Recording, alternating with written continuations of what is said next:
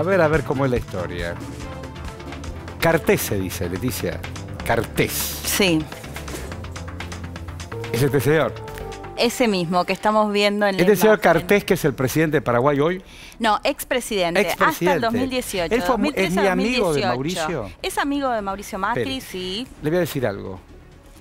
No puede entrar a Estados Unidos. No lo dejan entrar. ¿Y por qué no lo dejan entrar a Estados Porque lo pusieron en un listado en el cual lo acusan de corrupción. No. Eh, de hecho, es significativamente corrupto, así lo titulaban los medios paraguayos. Eh, esto, bueno, se deriva, habló el embajador estadounidense en Paraguay, Mark Ostilf, que si le parece, Horacio, vemos las citas Sí, en las cuales favor, explicaba textual. por qué no va a poder entrar no solo el exmandatario paraguayo, sino tampoco gran parte de su familia.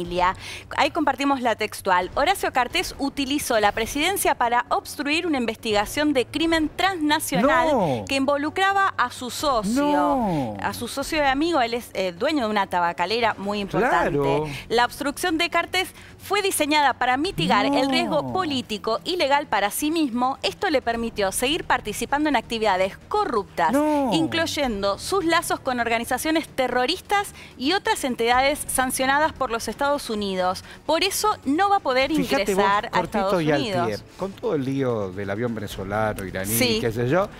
Que el- la tabacalera de Cartés el- estaba El que lo implicada. llamó por teléfono a Mauricio para bajarle letra era este hombre que no puede entrar a Estados Sí. Unidos, entonces. No solo no va a poder entrar a Estados Unidos, sino que además van a quedar congelados los activos que tenga también No. en este país. Un temazo, un temazo. Eh, Hablando de temazo, mañana. Sí, el- a las 13. Horacio, ¿qué tiene que hacer a las 13 Mira mañana? la internacional. Bueno, así los esperamos a ¿Y todos y a todas.